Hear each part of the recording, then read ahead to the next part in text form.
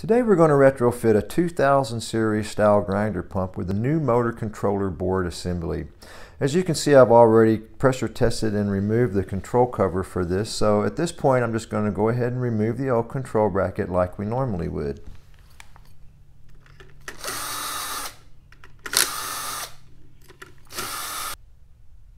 Okay, now that we've removed the control bracket, we'll just need to do a little bit of prep before we can install the new motor controller board assembly. I'm going to go ahead and remove this gasket and clean the uh, machine surface area so when I put it back together with a new gasket I got a nice clean surface there. I'm going to reuse these two wires, the red and purple one off of the on-off switch. They don't need anything on the end so they're good. I'm going to have to change this terminal. This is the red start wire that goes to the capacitor. Anytime we pull a terminal off and we're going to reuse that wire, we recommend that you replace that terminal. I'll need to add a flag terminal to the blue motor wire. The yellow and gray motor wires will no longer need these connectors, so I'll clip them off and I'll strip those wires back just a little bit.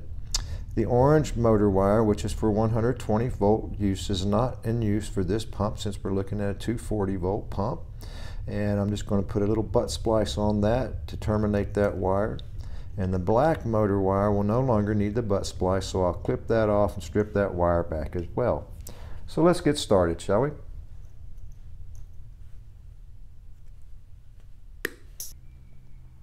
In order to install the new motor controller board assembly into an older 2000 series style pump, we're going to need the following service kit.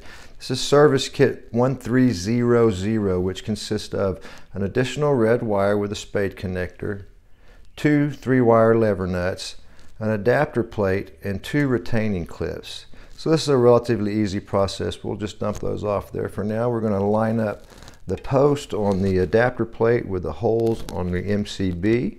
We'll grab our two retaining clips and we'll set them on top of the posts. And I just find it easiest to use a 5 16 deep well socket to press those two clips down onto those posts to secure the MCB to the adapter plate and we end up with this assembly right here. So once we get this ready we can now go ahead and install this into the pump. Okay, now that the casting has been cleaned and the wires have all been prepped and the adapter plate has been attached to the MCB, we'll go ahead and install the assembly into the pump casting here. And we'll wire it up. Okay, so the first thing I'm going to do is I'm going to take this two wire lever nut off of this brown wire and I'm going to replace it with one of the three wire lever nuts that came in our service kit. So I'm going to put the brown wire in there, push the lever down, lock it, give it a little tug. I'm going to grab this red pump cable wire and stick it into one of the positions there, lock it down, give it a tug. And then I'll grab the red wire coming off the on-off switch and insert it into the third location here. Okay, so now I'm going to grab the other three wire lever nut that came in our kit. And we'll take this purple wire off the on-off switch and insert it into one of the positions here.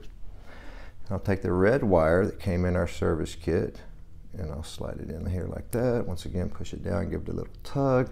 And then I'm gonna grab the black pump cable wire and put it into the third position here. Once again, locking it down, giving it a little tug. So I'll take this terminal that's on that three position lever nut and I will terminate it right down here on the common terminal of the relay on the MCB. Okay, I can go ahead and grab my red start winding wire here and put it to the start capacitor.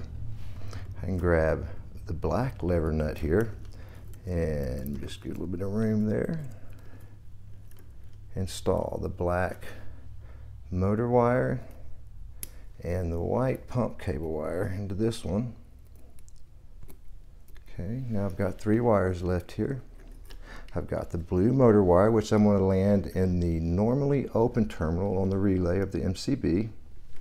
Then I've got the gray and yellow motor wires, which I'll terminate in the same color wire that's coming off the MCB. The gray to the gray, and give it a little tug, and the yellow to the yellow. Okay, so I'm gonna go ahead and just check all these connections one last time. Make sure everything's good and snug and secure.